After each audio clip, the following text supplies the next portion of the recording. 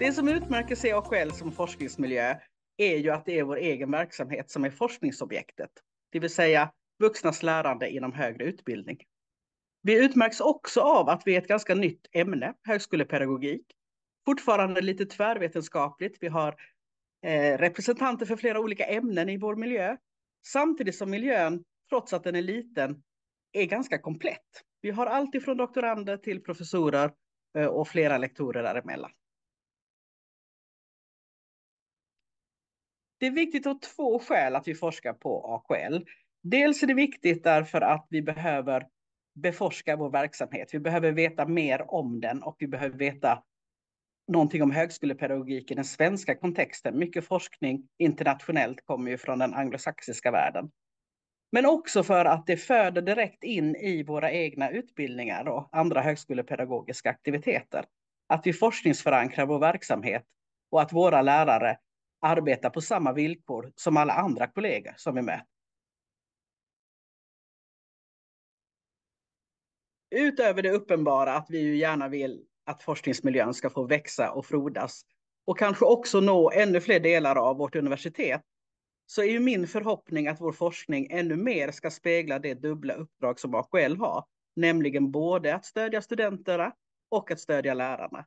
Så skulle vår forskning bli mer inriktad på studenternas lärande så skulle vi få ihop AKLs eh, verksamhet i en helhet även i forskningen.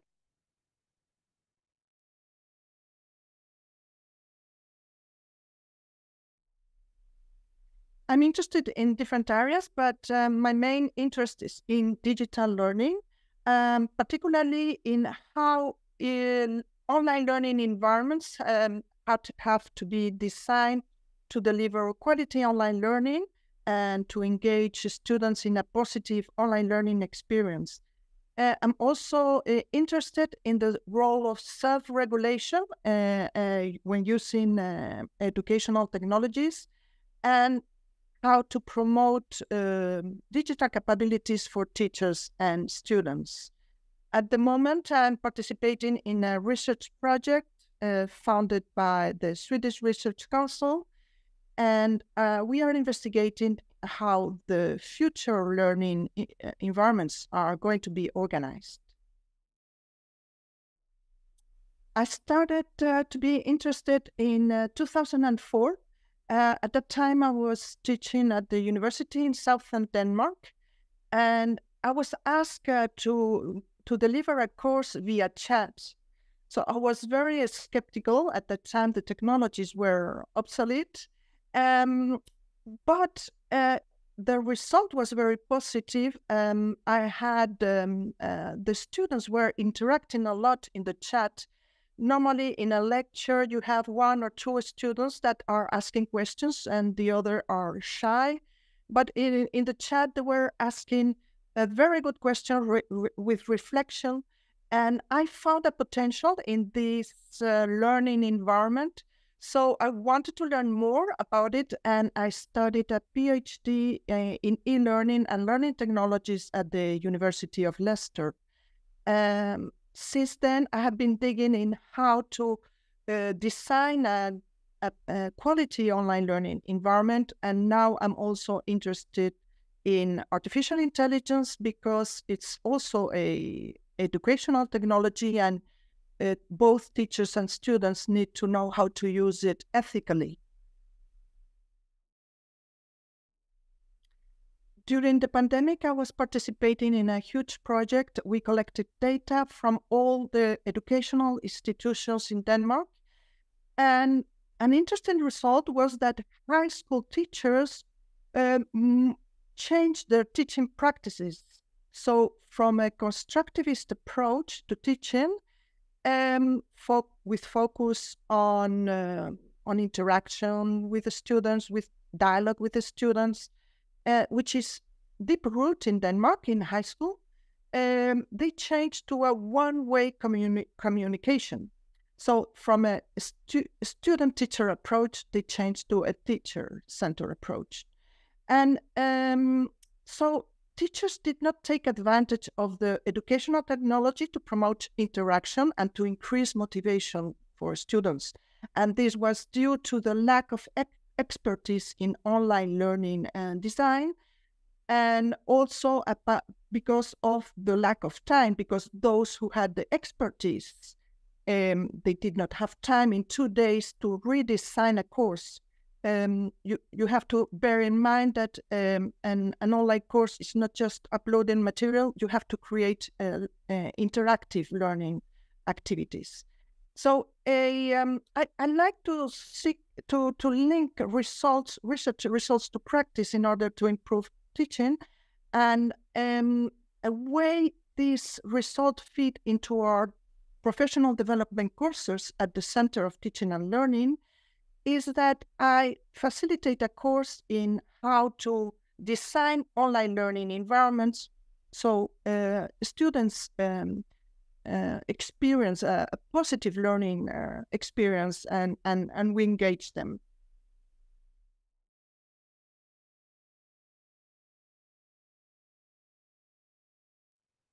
Forskningsämnet är högskolepedagogik och det jag särskilt eh, kikar på är eh, forskarstuderande som har eh, gjort ett avbrott eller rent av hoppat av sina forskarstudier Jag blev intresserad av att forska om det här ämnet därför att eh, jag är ju kursansvarig för forskarhandledarutbildning vid Malmö universitet. Och då har jag märkt att eh, kursdeltagarna uppskattar om eh, undervisningen är forskningsbaserad. Och då vill jag inte bara enbart förlita mig till andras eh, nationella och internationella forskning utan jag vill också bedriva forskningsbaserad, egen forskningsbaserad undervisning. Så det är skälet jag ville så att säga föregå med gott exempel.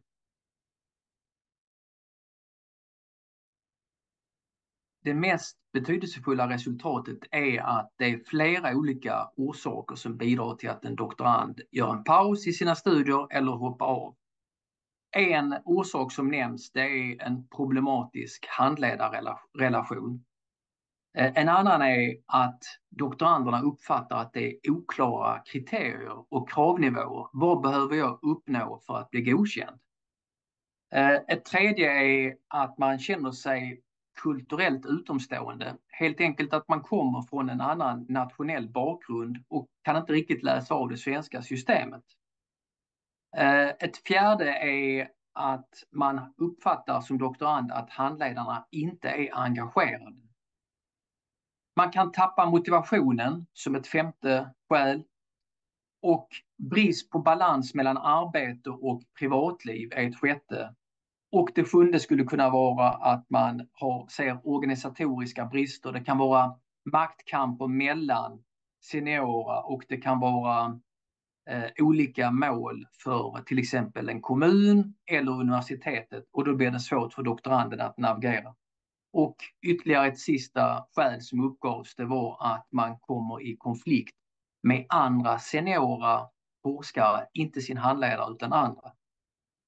Sen finns det andra skäl också till eh, avhopp och det är det här med att man, man lägger mycket av skulden på sig själv. Av de sex jag intervjuade så var det ingen som skyllde på handledarna. Det var inte det som var orsaken, utan man la väldigt mycket av tyngden på sig själv.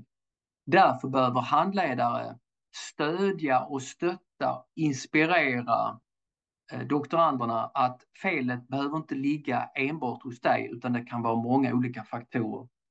Och eh, ytterligare en sak det är att tydligt klargöra vilka är målen med utbildningen, vilka är kraven och när har man uppnått tillräckligt bra nivå? Och hur kan man som handledare klargöra och stötta progressionen nu har du kommit så här långt, nästa steg är detta. Det måste man tydliggöra, tydliggöra som handledare.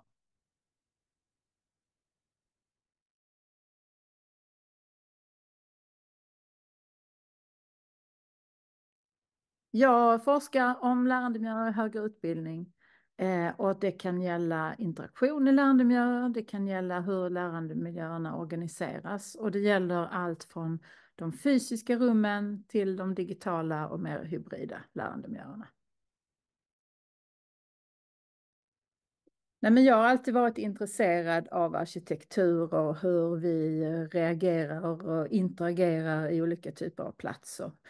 Eh, och lärande äger ju rum någonstans och vi påverkas av rumslighet men vi kan också ha möjlighet att påverka de här rummen. Så att det, det är viktigt och sen så drivs jag också av en tanke om att vi kan utveckla våra lärandemiljöer på ett eh, vetenskapligt sätt.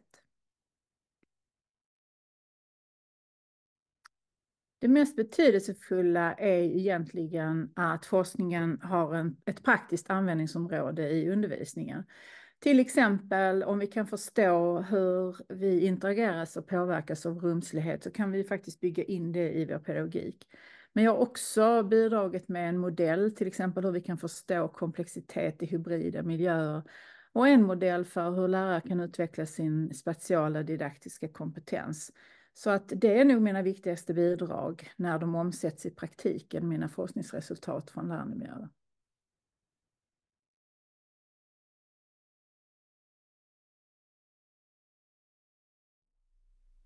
Eh, mitt fält kallas på engelska för eh, Educational Inquiry. Eh, och det betyder att jag som lärare undersöker metodiskt min egen praktik. Eh, mer specifikt har jag på senare tid sysslat mycket med studenters engagemang i respons, både sin egen och eh, den de får av andra, till exempel lärare och medstudenter.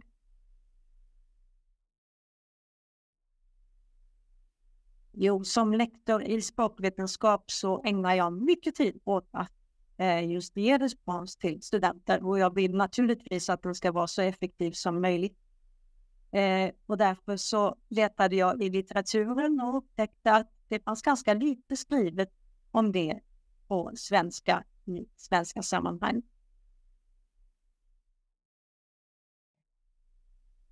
Jo, det viktigaste det är att studenter alltid måste få positiv respons.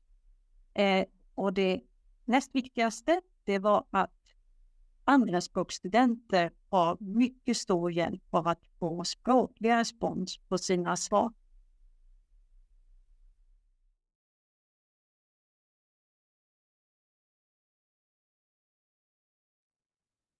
Jag har en bakgrund inom religionsfilosofi och etik och jag har tittat på demokratins förutsättningar, framför allt hur man kan skapa en levande politisk gemenskap i en tid som präglas av mycket antagonism.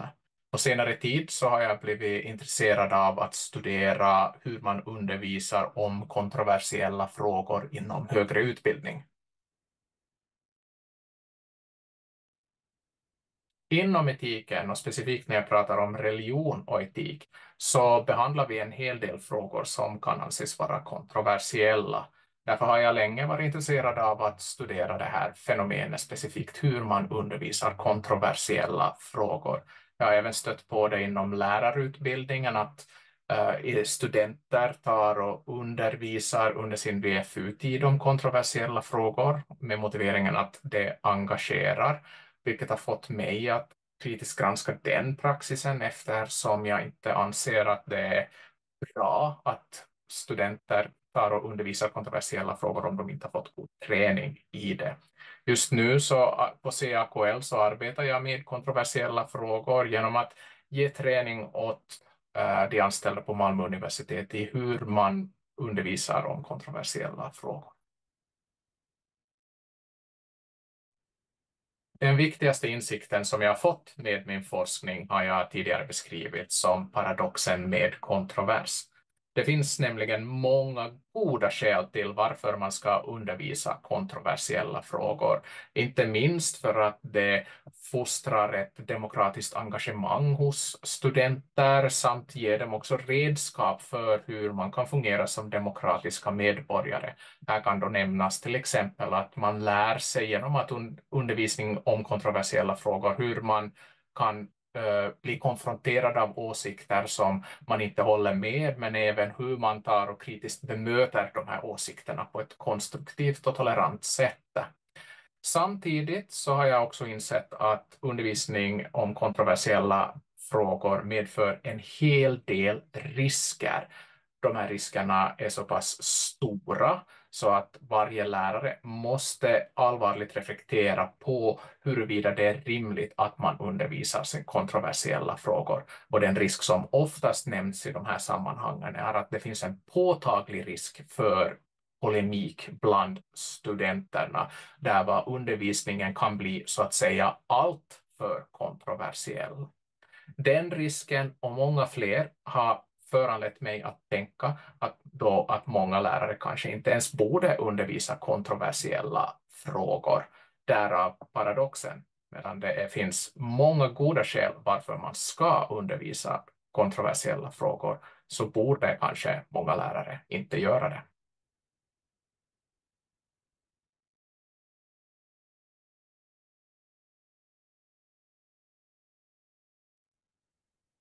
My research deals with equity in science education across the life course. I've investigated the career aspirations of high school girls who are interested in engineering, the entanglement of identity and physics learning in upper secondary Danish um, classrooms. And I also look at um, gendered occupational segregation in the academic sciences. So my interest stems from my personal experience um, as a gendered body in the sciences. When I became an educational researcher, I was interested to look at how um, gender and also race, race and ethnicity affect um, people's interest in science, uptake of science identities, and um, career trajectories. The main insights that I've gained from my research are how gender works in the culture of science to elevate um, some people but marginalize others.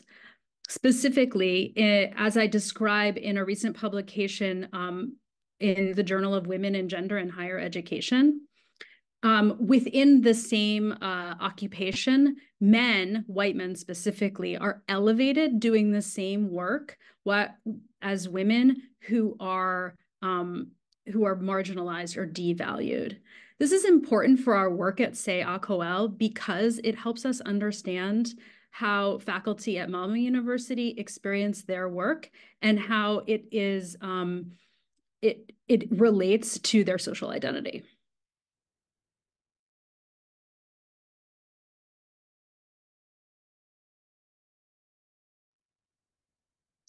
Inom högskolepedagogik så tittar jag på simuleringsbaserad undervisning och simulering är ett ganska brett begrepp, men det man kan säga är att det ses ge möjlighet för studenter att lära sig verklighetsnära och komplexa och kritiska situationer i sitt kommande yrke under säkra förhållanden och med anpassad svårighetsgrad. Ett exempel kan vara när till exempel polisaspiranter lär sig köra polisbil eller sjuksköterskestuderande eh, ska lära sig möta patienter. Och här intresserar jag mig framför allt för lärarnas uppfattning av simulering, deras planeringsarbete, hur de ser att simuleringen kompletterar någonting i undervisning och kanske kompletterar någonting i deras lärarroll. Ehm, så det är det som jag är nyfiken på.